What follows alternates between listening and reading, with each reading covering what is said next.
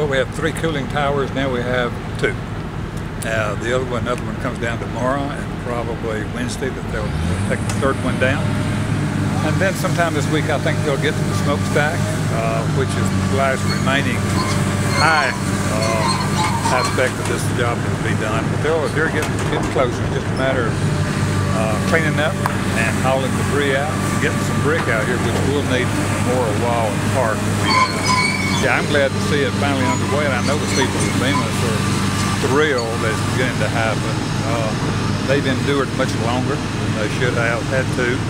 Uh, we had a contractor that simply did not finish his work and was not going to finish his work, so we asked the court to take possession of the mill, and so we got possession, and it came under the city's auspice from that point on. So we'll go ahead and finish the demo part of the mill, I'll get our brick out that it's going to take to build a memorial wall, and then haul the, haul the rest of it out.